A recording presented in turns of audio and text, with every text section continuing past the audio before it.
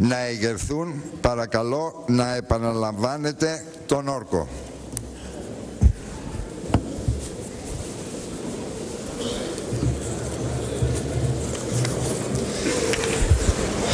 Θα ήθελα να παρακαλέσω όπως και οι συνάδελφοι που ορκίζονται με πολιτικό όρκο ήταν όρθιοι όταν ορκιζόμαστε με το θρησκευτικό διαλόγους ευγενίας να σηκωθούμε όλοι όρθιοι. Λοιπόν, διαβεβαιώνω στην τιμή και τη συνείδησή μου ότι θα είμαι πιστός στην πατρίδα και το δημοκρατικό πολίτευμα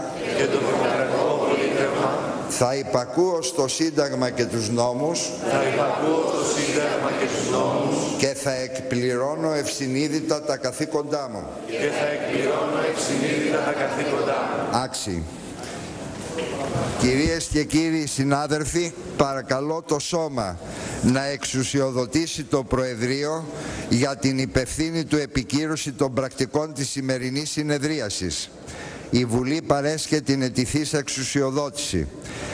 Παρακαλούνται τώρα οι κύριες και οι κύριοι συνάδελφοι να παραμείνουν στις θέσεις τους για την υπογραφή του πρωτοκόλου της ορκομοσίας και την παραλαβή ενημερωτικού φακέλου ο οποίος βρίσκεται ήδη στα έδρανά σας δεν, ώστε να ολοκληρωθεί η διαδικασία της ορκομοσίας τους.